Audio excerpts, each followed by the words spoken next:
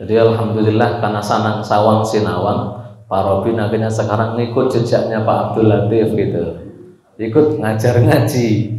Nah, cuma yang diajar Pak Haji Mukorobin itu orang-orang yang usianya 17 tahun dibalik 71 namanya orang sudah 71 tahun bukan orang Arab diajari huruf-huruf kagak bisa kagak bisa. Itu dapat pahala buahnya lah sampainya udah bener kan?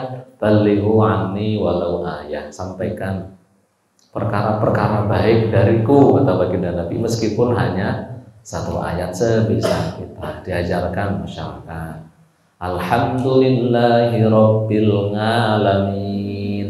Nganya diganti pak diganti a a gitu a coba panggah nga gitu A'udzu billahi minasyaitonir rajim. Jangan jim tapi ji ji bukan ji. Tetap ji.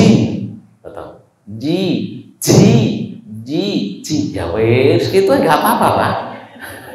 kan kata baginda Nabi sadidu aqaribu. Berusahalah jadi baik, dekatkan pada yang benar kan gitu. Kalaupun nggak bisa benar 100%, ya minimal deket-deket deket berapa? Deket 50% kan. Yang benar A masih bisanya nga ya ya wis bisanya kayak gitu. Agama Islam itu mudah untuk diamalkan itu mudah. Maksudnya yang tua bisa mengamalkan agama Islam, yang muda bisa, yang pinter bisa, yang nggak pinter juga bisa. Agama Islam itu nggak hanya milik ustaz, nggak hanya milik orang-orang yang paham agama, yang nggak paham agama juga bisa mengamalkan Islam. Islam itu mudah. Yang bisa sholat tepat bukan tepat waktu di awal waktu, ya alhamdulillah tapi Islam itu mudah. Sholat itu nggak harus di awal waktu. Selama masih di waktunya, itu masih disebut sholat tepat waktu. Coba sholat itu waktunya hanya di awal. Kasihan para petani, ya bangga. Kasihan para karyawan yang selesai kerjanya jam 5, iya tau? Nggak bisa sholat apa? Nggak bisa sholat asar jam setengah empat. Jam 5 bisa sholat asar, masih tepat waktunya? Masih. Yang nggak tepat itu kalau sholat asar setelah matahari tenggelam. Enak kan?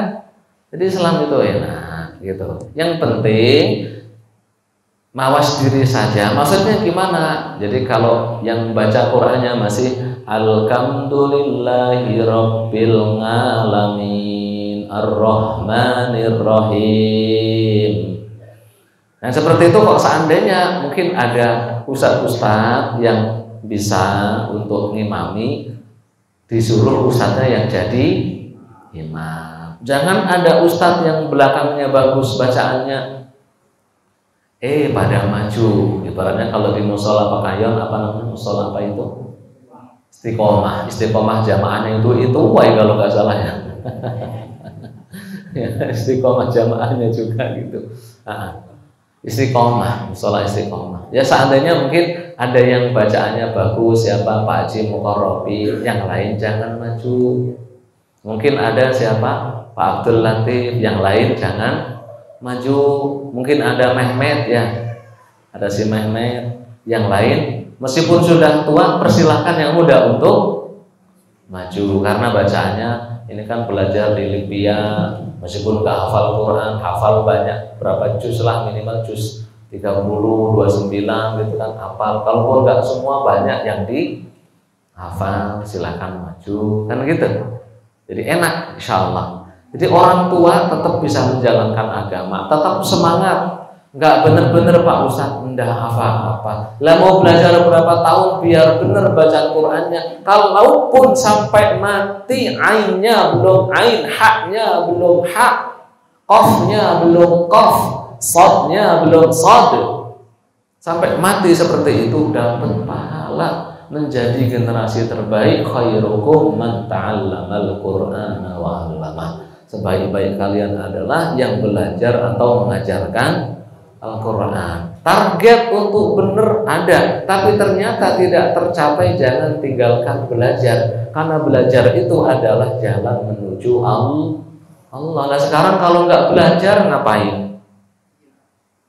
WA, YouTube, iya kan gitu ya. Belajar di YouTube, mending kalau nemu ustadz yang adem-adem, nemu ustadznya yang panas-panas, repot nanti malahan. Udah ya silahkan belajar di YouTube silahkan ada belajar Qurannya. Ngaji ya Allah Pak Ustaz sudah 10 tahun saya belajar ain tetap nggak wis gak opo-opo belajarnya nggak tapi nanti usahakan kalau jadi imam ngimami orang-orang yang baca ainnya dengan nggak gitu. Sama-sama nggak gitu kan ya. Sama-sama nggak gitu belajar ha Pak Ustaz. Kok tetap kah wis gak apa-apa lah saya katanya nggak sah. Sah siapa yang bilang nggak sah? Hmm. jadi mohon maaf kalau nyampaikan materi itu jangan terlalu saklek. Itu nggak sah kalau orangnya bisa mengucapkan ha tapi tidak mau mengucapin ha bisa mengucapin a tapi malah diucapinnya a itu baru nggak sengaja berubah. Nah kalau orang bisanya banyak pak bu orang bisa ngafalkan al-fatihah nggak kebalik-balik saja sudah alhamdulillah. Bisa ngapalin duit kul aja kuliah sama kulhu. Itu sudah masya Allah alhamdulillah. Udah bagus. Hafalnya cuma apa? Kuliah sama kulhu Sholat saya gimana Pak Ustadz? Sholat fardu kuliah kulhu. Sholat apa rawatib kuliah kulhu. Sholat duha kuliah kulhu. Tahajud kuliah kulhu. Sholat hajat kuliah kulhu. Memang apa cuma kuliah kulhu? Enggak apa-apa. Bisa jadi ini orang masuk surganya lebih dulu dibandingkan yang hafal Quran dengan nama suratnya, dengan nomor ayatnya, dengan pojok-pojokannya bisa jadi duluan yang hafal kuliah sama kulhu.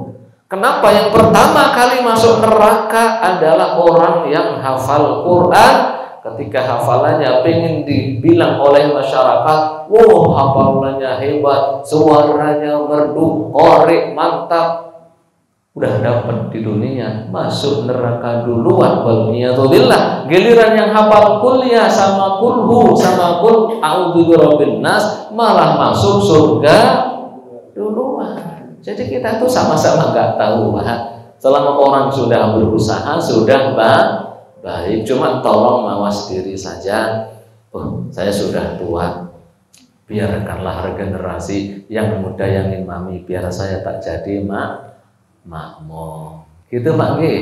Ujiannya orang tua itu kadang sulit mawas diri bahwa dia sudah tua. Orang tua itu sefasih-fasihnya orang tua tetap lidahnya kadang capek.